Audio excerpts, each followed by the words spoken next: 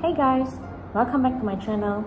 In today's video, I'm going to give you a brief explanation on COVID-19 self-test kits that are available in Malaysia and how do you perform it yourself at home. There are up to three COVID-19 self-test kits have been received approval from Ministry of Health via Medical Device Authority MDA and it is available in the market since 23rd July 2021. You can get it from pharmacies and healthcare facilities. You can visit mda.gov.my for more information. So, there are three COVID-19 self-test kits available.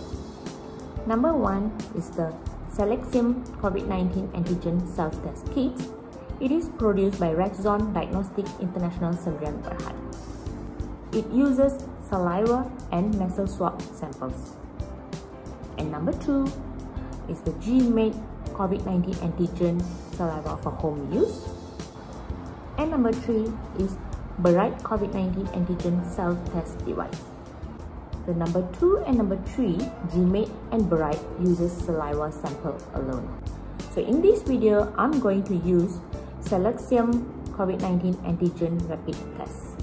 It has a sensitivity of more than 91% and specificity of 100% and you get your result in 15 minutes. First, make sure you rinse your mouth thoroughly before you conduct the test. Number two, do not chew, eat, drink or smoke at least for 30 minutes.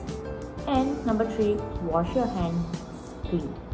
So let's check on the package including the expiry date so it is here.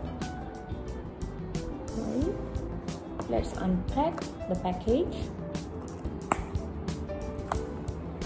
There are five components in the package. The test device it is individually in a foil pouch with desiccant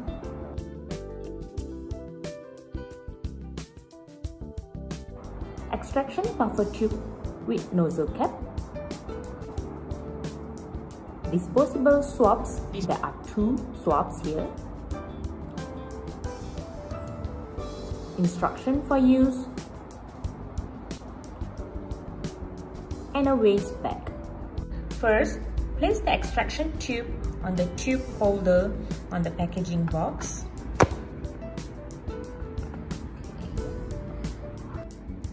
Then peel off the aluminum seal. Be careful not to spill the liquid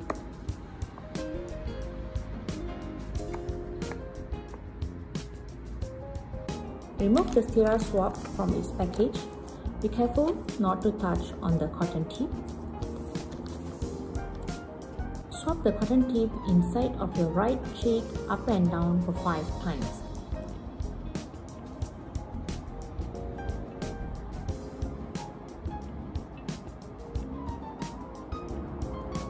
Then repeat the same steps on the left side. Make sure the swab don't get in contact with your teeth, tongue and gums.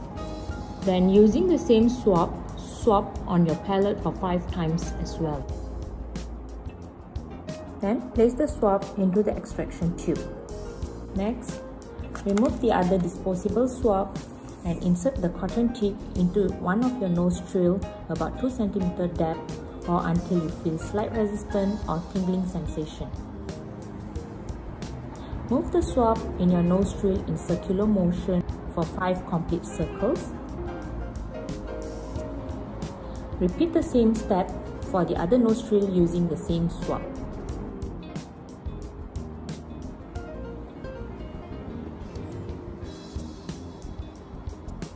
Insert the swab into the extraction buffer tube as well.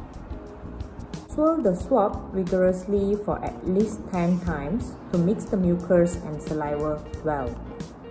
The swab must be sufficiently soaked. Remove the swab while squeezing the sides of the tube to extract the liquid from the swab as much as possible. Then, discard the swab into the waste bag and seal it carefully. Assemble the nozzle cap tightly with the tube. Then tear open the test device from the foil pouch and place it on the smooth and clean surface. Apply 2 drops of the sample solution to the specimen well of the test device and make sure there are no air bubbles. And do read your result within 15 minutes, not after, not before, to avoid any false result. If your result is negative, a colored band will appear on top section of your result window. This is the control line. If the result is positive, a colored band will appear on the lower section of the result window. So, you will see a double line on the test device. Even if the band is faint or not uniform, the test result is still interpreted as positive result. The test result is considered as invalid if there is no band appears or there's only band appear on the lower section of the test window. And you may want to repeat the test. Whatever is your result, make sure you do report it on your MySejahtera app.